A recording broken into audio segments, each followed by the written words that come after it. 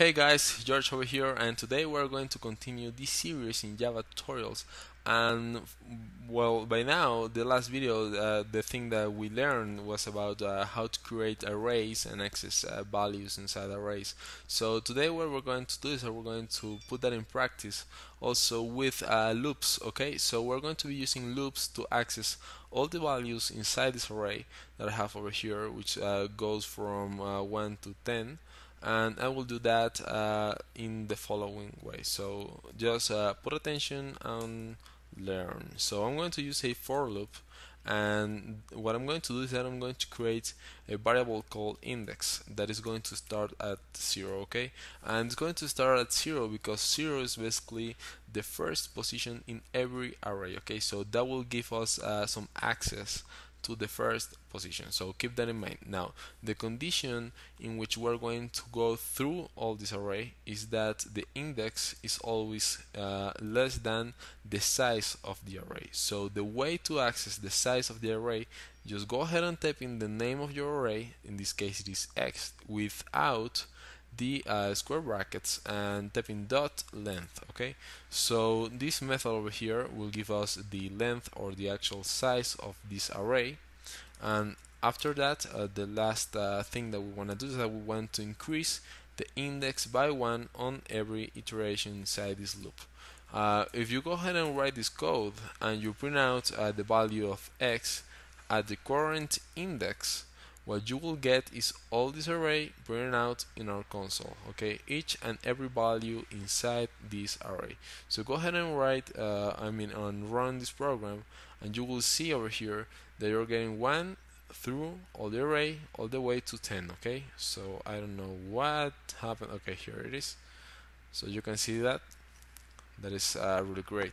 You can also uh, do it backwards. For example you can say that index is going to start at the last uh, position of the array. So that will be the size of the array minus 1 and the index will need to be greater or equals than 0 okay? So we'll go through the last position all the way to the first one which is 0 and we'll be decreasing the index by 1 on every iteration okay? So we will see instead of uh, 1 uh, to 10 we will see 10 all the way through back uh, I mean to 1 all the way back uh, to 1 okay? So go ahead and run this code.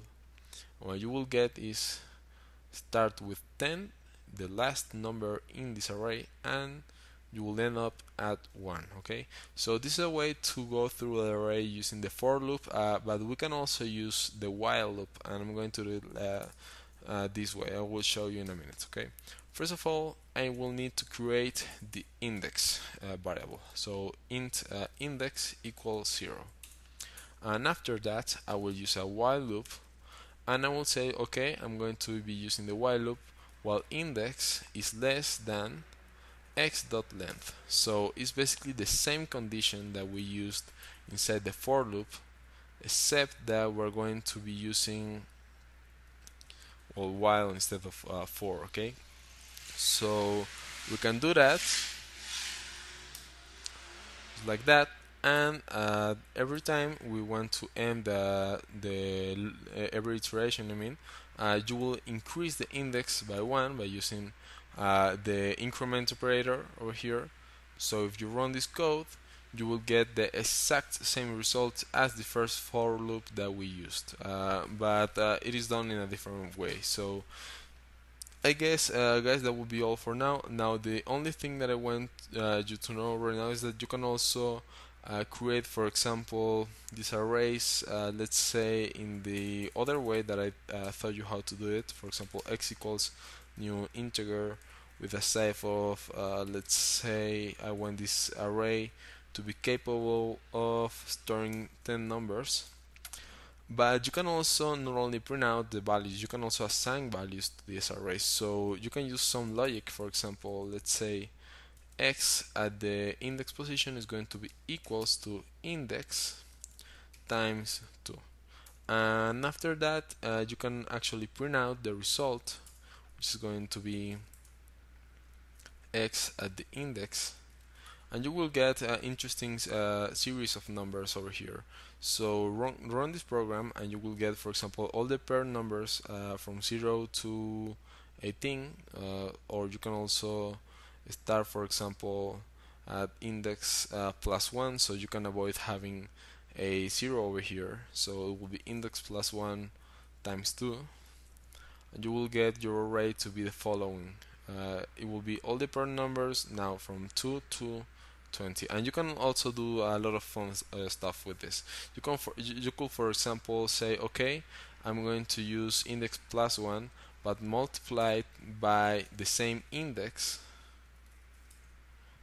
plus 1 okay? So that will be really interesting because we're going to get uh, like the power of that index uh, currently. So if you run this program you will get for example 1 then 4 then 9 16 and well all the power of power of 1 2 3 the 3 to the power of 2 so that will be really interesting ways of getting a new series uh, to get uh, inside your array. So you can also create uh, well creative values uh, to put inside your array. And okay so you can create some interesting series. So that will be all for now guys. I hope you did uh, like this tutorial. If you did don't forget to click on the like button below. You can also leave uh, some comment and subscribe to my channel for more videos here in my channel okay? So see you later. Have a nice day. Bye bye